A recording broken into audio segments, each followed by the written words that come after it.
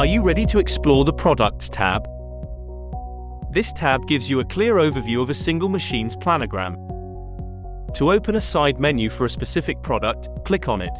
This menu may seem familiar to you, as we have brought MoMA's ease of use to your desktop. Here you can assign a bin to a group, change quantity and par, edit the product price, and even upload a product image, and switch a product in this bin. Quickly manage your planogram from the Action menu. Want to save time?